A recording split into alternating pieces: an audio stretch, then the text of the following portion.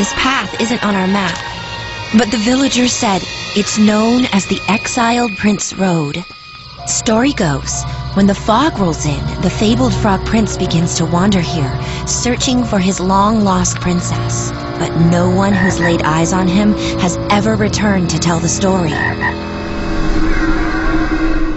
It's time to head back, Marie. The Chancellor will not be pleased I let you stay out so late. I... I think we're lost. Didn't we come across this stone statue an hour ago? Don't worry, I see someone up ahead. Perhaps he can help us.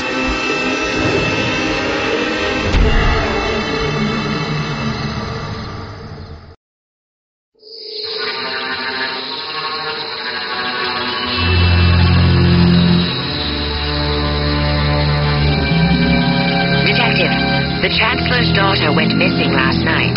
Her bodyguard is also nowhere to be found. However, we believe this case has to do with the Frog Prince.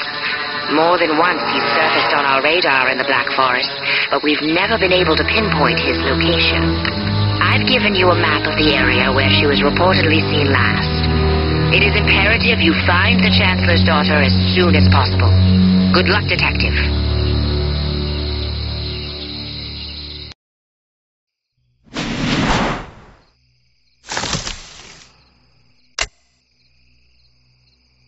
Oh, oh, oh.